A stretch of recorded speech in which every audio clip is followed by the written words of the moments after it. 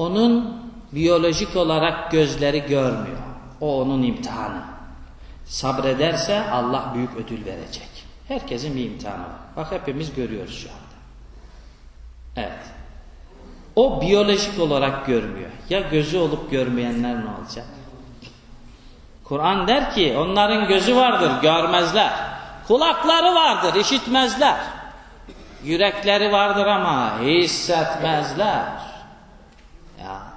Şimdi gözümüz var gerçeği. Eğer dinin kurallarını, ahlak değerleri hayatınıza koymuyorsanız hepimiz amazsınız. Hepimiz amayız. Görmüyoruz demektir.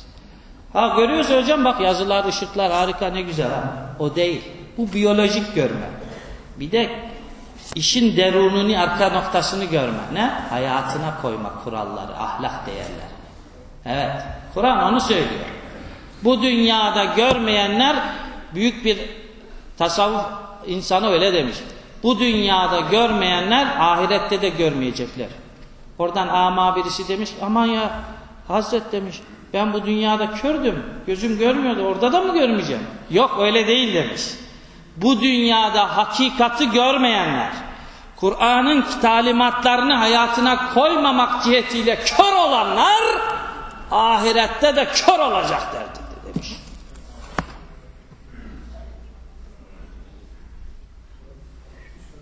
Nedir bu vahşet? Sen yetiştir, büyüt, gözünden esirge, elin namussuzu gelsin, kızını kessin, torbalara doldursun. Bu toplum nereden geldi?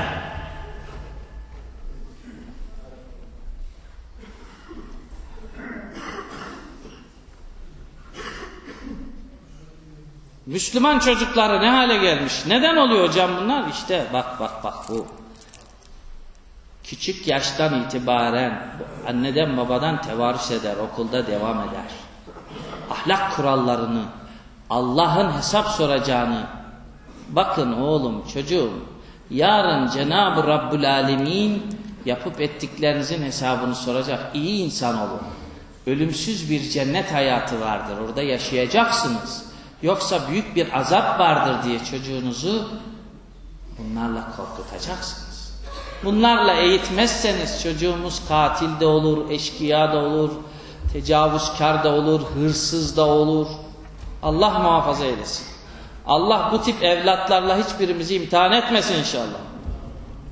Bu amine de bu dua kabul olmaz zaten onu da bilin. Yine malzemeden alıyorsunuz.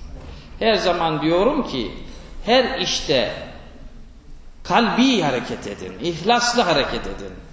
İbadette de şimdi pidi pidi pidi pidi pidi kılıp çıkıyor. Duada da. Ben diyorum ki bakın çocuklarınızın böyle kötü ahlakla ahlaklanması cihetiyle söylüyorum. Çocuklarınız böyle kötü çocuk olmasın diyorum. 3-5 tane amin duyuluyor. Bu mudur? Bu mudur samimiyet? İhlas bu mu? Kuvvetli arkadaşlar. Allah bakacak bunlar ciddi mi bakayım kalpten mi söylüyor diyecekler. Bir selamun aleyküm var. Selamun aleyküm baba nasılsın? Hangisi güzel? Merhaba iyi sabahlar. Bu sö söver gibi bir şey. Yani samimi şuradan şuradan gelecek bak şuradan. Buradan gelirse şu kalpten bu kulak kepçesinden dönmez. Buradan gelirse kalbe girer. Ha buradan gelirse kulak kepçesinden döner. İhlas. Samimiyet. Cenab-ı Hak dünya hayatında sınavı en üst düzeyde Allahu Teala'nın istediği gibi sınavı veren çoluğunu çocuğunu da o şekilde yetiştiren müminler zümresine hepinizi dahil eylesin. Amin. Budur. Biz bu, bu olayı lütfen hayatınızın her sahnesine koyun. Sadece bakın duada değil, namazda, abdestte, komşunuzla olan diyalogda, dükkanda, esnaf hayatınızda, ticaretinizde. Vallahi abi 3 liraya aldım diyor bak çok kar etmiyorum. Niye? Yapma bunları. Dürüst ol. Ahlaklı ol. Mümin adam dürüst adamdır. Peygamberimiz ne buyurmuşlar? aldatan bizden değildir. Bakar mısın? Bizden değil ne demek arkadaşlar? Mümin değildir demek istiyor Müslüman değil yani. Aldatmaz Müslüman. Kandırmaz Müslüman. Malzemeden çalmaz Müslüman. Devlet zaman zaman ilan ediyor. Allah razı olsun. Karımızı zararımızı gösteriyor bize. Diyor ki filanca markalar diyor sucuklara, pastırmalara, salamlara neyse domuz koymuş, eşek koymuş. Aman ha yemeyin.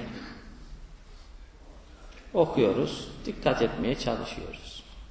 E peki oraya o sahtecilikleri yapanlar kimler arkadaşlar? Tereyağına patatesi koyanlar kimler arkadaşlar? Nüfuslarında putperest mi yazıyor? Hristiyan mı yazıyor? Efendim birbirini öldürenler, cinayet işleyenler, uyuşturucu kullananlar kimliğinde ne yazıyor arkadaşlar? Müslüman. E oldu mu? Bu Müslümanlığı mı istiyor Allah? Bu Kur'an'daki Müslümanlık değil. Böyle uymuşuz bir şeye gidiyoruz. Şuurlu nesiller, İslam'ın, Kur'an'ın istediği bir nesiller olmak istiyorsak, hayatımızı ve yarınlarımız olan ahiretimizi kurtarmak istiyorsak, vallahi de billahi Kur'an'dan ve Hz. Muhammed'in yolundan başka yol yoktur. Bunu da okuyacaksınız arkadaşlar, değerli kardeşler. Okumadan olmaz. Bir otobüs Facebook'ta gördüm, paylaştım. Bir sürü insan da yorum yazmış, paylaşmış. Bir otobüs koymuşlar Japonya'dan, bir de Türkiye'den 4-5-6 kişi Japon açmış kitap okuyor otobüste. Bizim otobüsü gösteriyor, Türk otobüsü. Hepsinin elinde leğen gibi ha böyle telefonlar. Hepsi telefon. Zırt zırt zırt zırt zırt zırt tuş. E hangi toplum ilerlersin şimdi? Biz bana bu fotoğrafı bir tarif edin. Hadi. Hangi toplum teknoloji olur? Aha bak ortada örneği. Necmettin bunlar ne malı kardeşim? Söyle bakayım. Japon. Bak ben kürsümde Japon'un mikrofonundan konuşuyorum. E yazıyor işte Made in Japon. Ha bunda da Made in China. İkisi de putperest. Tebrik ederim sizi. Müslümanlar alemini tebrik ederim. Bak putperest beni burada almış. Kontrolünü almış. Hani Müslümanlık? Bunlar niye Türk? Made in Türkiye yazmıyor. Niye Türk malı yazmasın? Veya Malezya yazsın canım o da Müslüman fark etmez. Niye? Cırt cırt cırt cırt cırt okuma yat uyu yat uyu yat maç spor Kurtlar Vadisi Survivor bitti ömür. Ne olacak? Toplum bunlarla uyuşuyor. Çocuk şeye özeniyor, elini alıyor, silah atıyor. He, ben de diyor Polat Alemdar olacağım diyor. Ne güzel bir nesil ya Rabbi. Pop, Polat Alemdar şunlara bak. Gençler, koçum benim. Hiç kimse İbn Sina olayım demiyor. Fatih Sultan Mehmet olayım demiyor. 21 yaşında adam İstanbul'u fethetmiş. Hadi. Hiç kimse bunlara özenmiyor. Çünkü orada devamlı zehir kusuluyor.